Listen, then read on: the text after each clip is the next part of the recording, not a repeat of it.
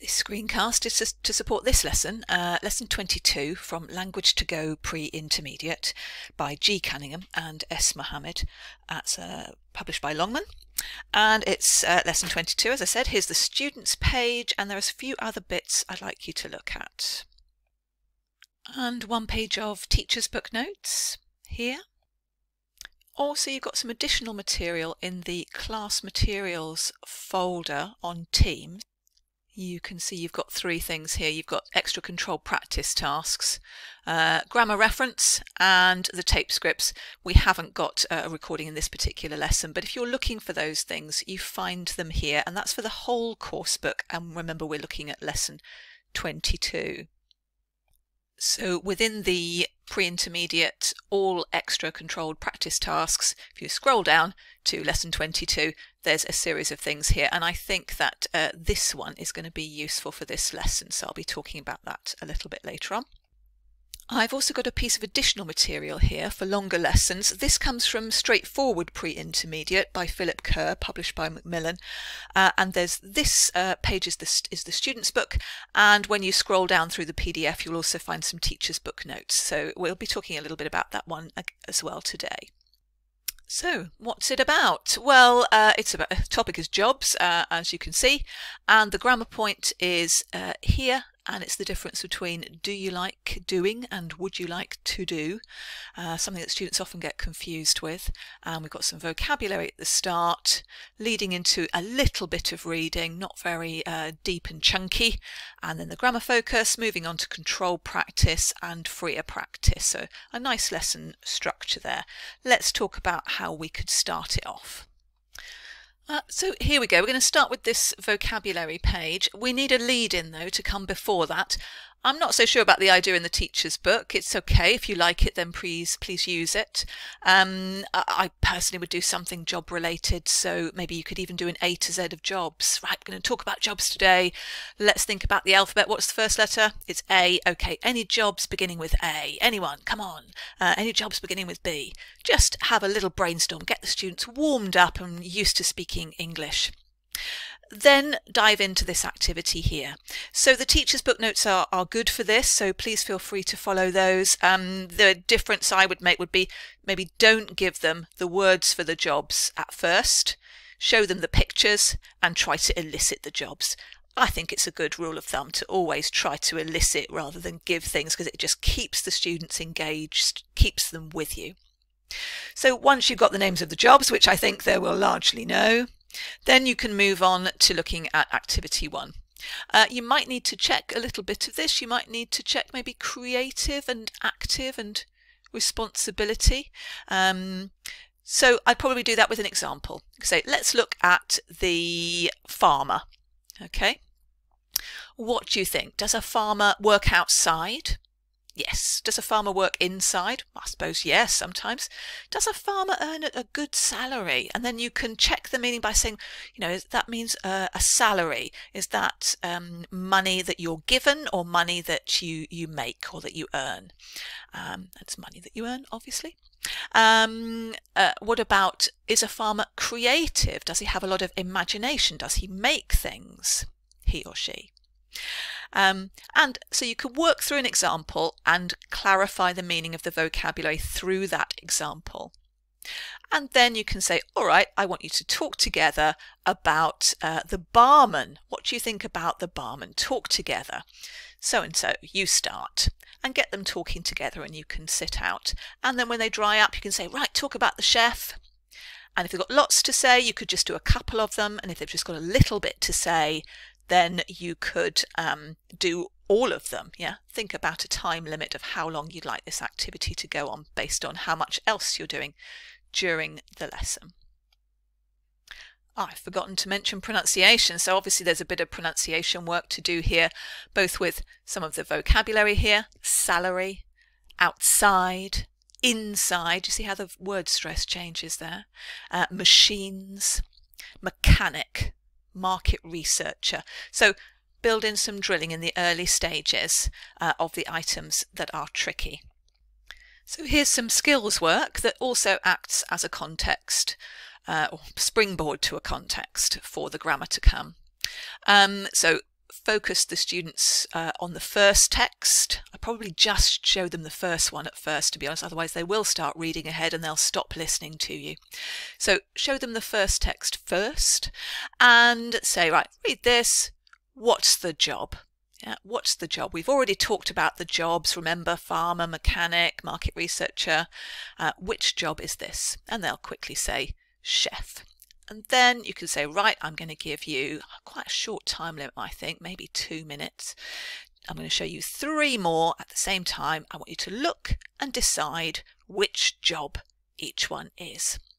Show them the others, bit of silent time to read, stop, and then say, right, talk together, which what jobs uh, are for which advert. I think they'll probably get it quite quickly. And then you can say, okay, now I want you to choose uh, a job you would like to do and a job you wouldn't like to do. Yeah, so we're talking about the future. Uh, are we talking about real life or imagining? Yeah, it's imagining. Okay, good. And give them a chance to think about which one they would like to do, which one they wouldn't like to do. So maybe a minute silence. And then say, everybody talk together. Which one would you like to do? Which one wouldn't you like to do? Talk together, so and so, you start, and then you can sit back and listen. All right, you might want to collate some errors for correction after the activity. I think that would be nice. Not necessarily focused on any target language, just some general errors that the students might find useful to have corrected after a fluency task of this type. So now we can move into the grammar. We've already started to work on this by getting the students to think about what they would like to do and wouldn't like to do. And we've talked about the future and we've talked about imagining things. So uh, I think uh, think about how you want to go about it. You want to clarify the meaning first. As I say, we're halfway there with one of the items anyway. So I'd probably put up uh, a couple of examples like I like learning new skills and I'd like to be a mechanic and say which one is talking about the future possibility, imagining, and which one is talking about present likes and dislikes, things you like and don't like now. They'll be able to identify that fairly quickly, I think. And then we need to look at form because form is really the, the problem here. I feel. Um, I'm not sure that this box is very engaging, so you've got to think about how you're going to draw students into it. Uh, I would probably put up something like this, but with some gaps. And then I can say, have a look here, there's some gaps, maybe just two or three. And then you can say, what do you think goes in the gaps? And you could always put the things that go in the gaps in a box and get them to put them in. And then I think it needs some checking. So you need to be saying, okay, so after like, what do we use? Do we use to do? Do we use an infinitive? Or do we use doing? Do we use an ing? So we need to clarify this aspect of form. And then you can elicit, okay, so what do we use after like, after would like, rather, excuse me, after would like? Do we use to do or do we use ing? We use to do. So don't have this form on the slide at the beginning, elicit that part in the blue part from the students and then perhaps a little bit of control practice, a bit of drilling.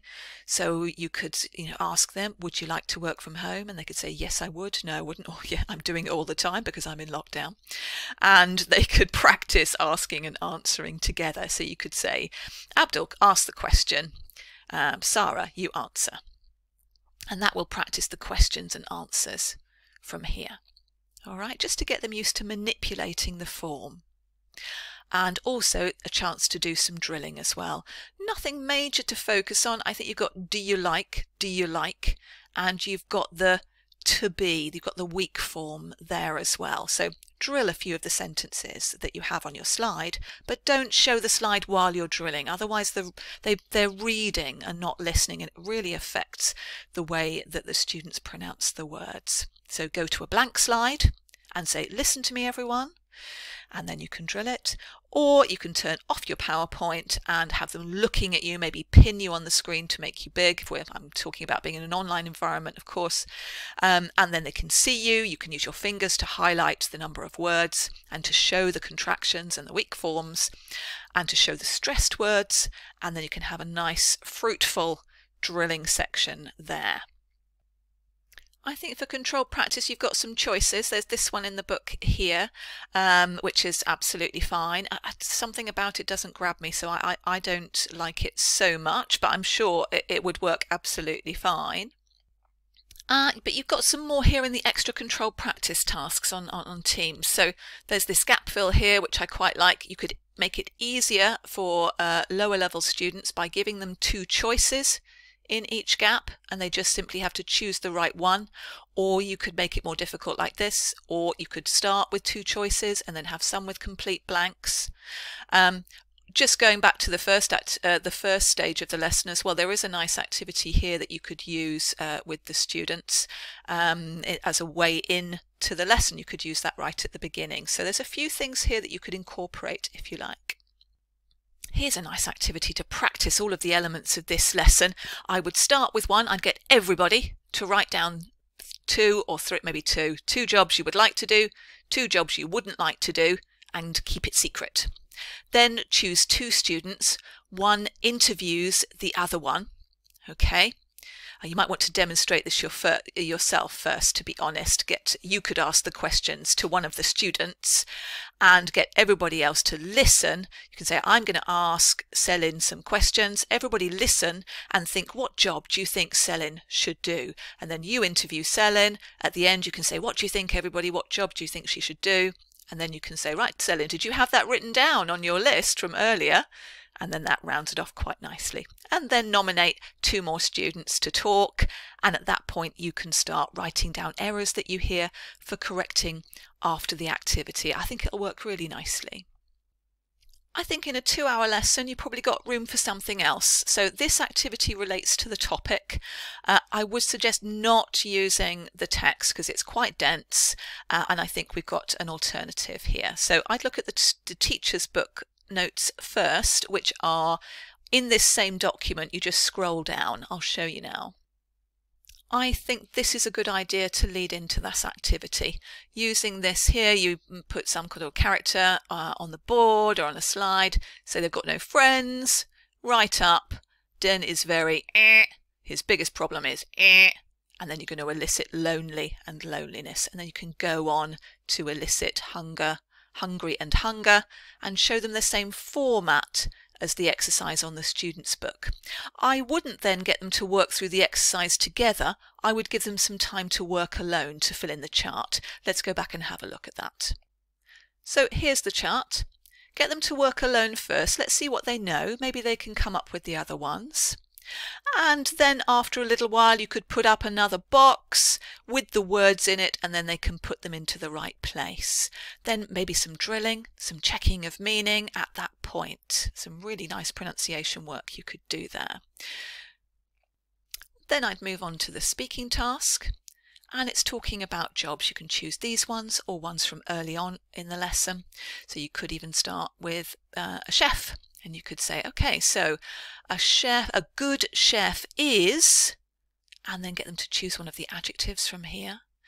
And then you could say, right, a good chef needs to have, and then choose one of the nouns from there.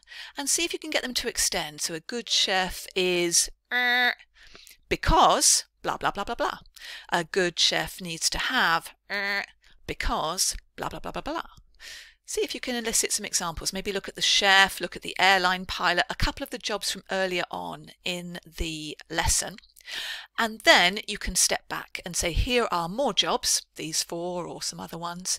I want you to do the same thing. You want to say a good police officer is, er, a good officer, police officer needs to have, er, and don't forget to say why you think that. Say because. And again, you could nominate one person to talk and everybody else could think, could have the task of listening and see if they agree or not. And then you could nominate someone else to talk and everyone else can listen to see if they agree or not.